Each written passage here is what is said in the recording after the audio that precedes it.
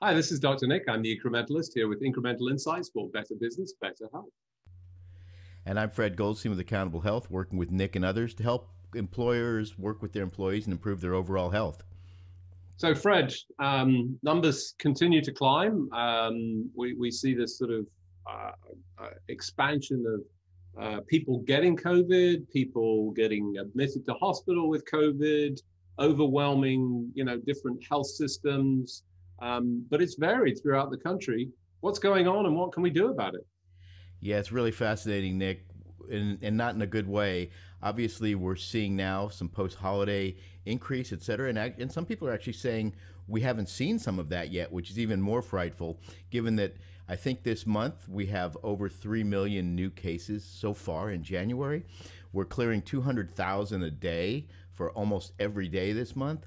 And it's really gotten to this point where it's almost over the top out of control. But again, at the same time, we know, and you've mentioned this, you've mentioned it repeatedly, this idea of double down on those safety measures, double down on those risk mitigation strategies.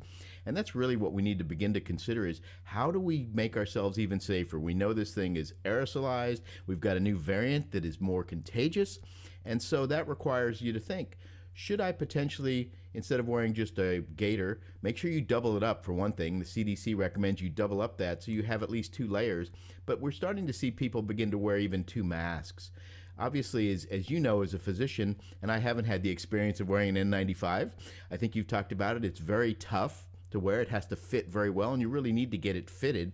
But you're starting to see people begin to wear two masks, perhaps a, a, a, cloth type surgical mask or a surgical mask with a cloth mask over it, as well as obviously washing your hands. And for those of us who can limit our activities indoors, we should clearly do that. I'm seeing restaurants full.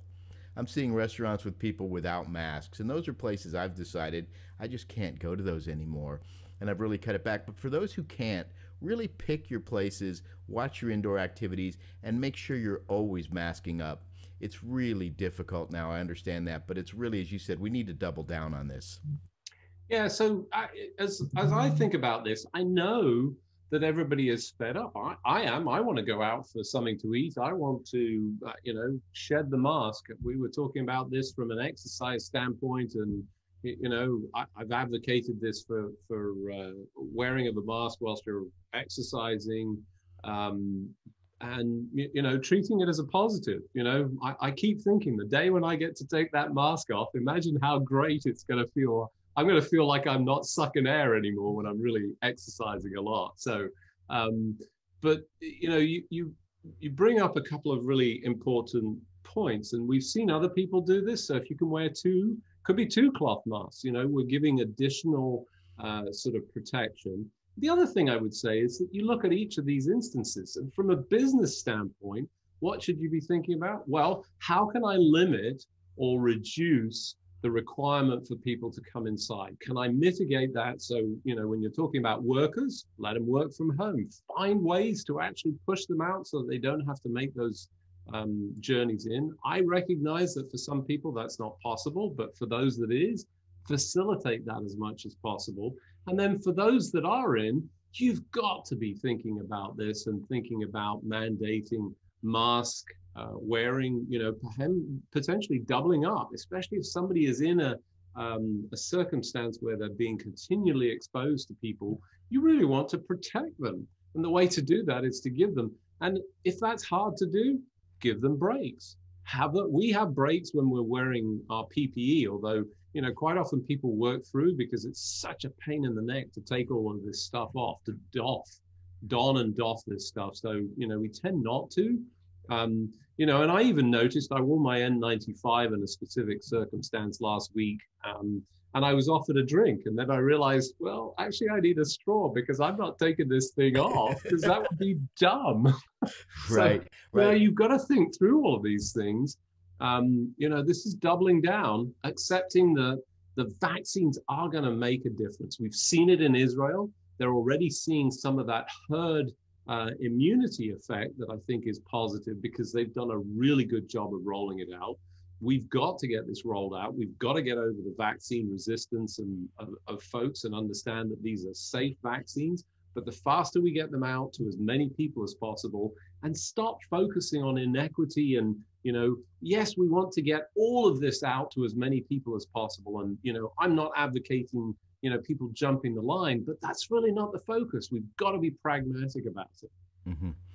Yeah, and I know one of the things we've talked about, and you're obviously an expert in this, is this whole idea of technology and how to leverage technology in healthcare. And there's some exciting stuff I think we're beginning to see around this. And I know you've been looking at this quite deeply, Nick. So what are you finding? Yeah, I think it was a little bit of a surprise to me. I didn't fully expect that, you know, a wearable device, it was one of the wearables, doesn't matter which one, that was monitoring uh, essentially heart rate and I think also may have included pulse oximetry. But here's the critical thing. Yes, we know that, you know, if you have an elevated heart rate and it stays like that at rest, um, you know, elevated temperature and your pulse ox is dropping, you know, that can give you signs.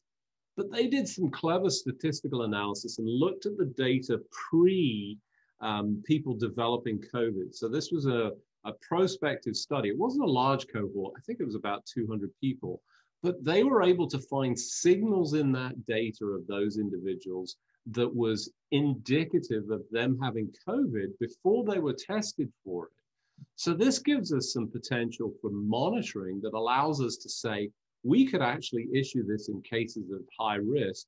And where we haven't got testing or somebody hasn't been tested, we might actually get alerts from this to say, hey, you need to go get tested so that we can focus the testing uh, capability because we still haven't sorted that out frustratingly but you know hopefully we will um, but in the meantime let's get the people out of commission and put on um, a, an isolation or quarantine pathway depending on where they fall in all of this before they spread it especially with this higher uh, transmissibility that we're seeing with all of these variants. So more study required. This is not go out and buy, you know, devices and say um, but certainly, I think good news because we're going to see more of this, I think, emerge. Yeah, that would be fantastic if we could begin to identify those individuals early, particularly those who may not be feeling the symptoms themselves, but have some underlying changes that are picked up by this technology, so we can get, sort of close down that spread we're seeing from the asymptomatic folks as well as the others. So that's great news, and obviously we'll continue to monitor that and watch that over time. So once again, a fantastic week. Thank you so much, Nick. This is Fred Goldstein with Accountable Health saying thanks for joining us, and please do check out our website if you'd like more information. We're happy to talk to you or get on a call and discuss some of the services we offer. And if you'd like to learn more about this, you can always check out our uh, weekly webinar uh, Wednesdays. Um, uh, the link is down here. You can register. It's a Q&A session. It's short, brief, uh, uh, ample opportunity to ask questions. So join us if you can. And I'm Dr. Nick. I'm the incrementalist here with incremental insights for better business and better health.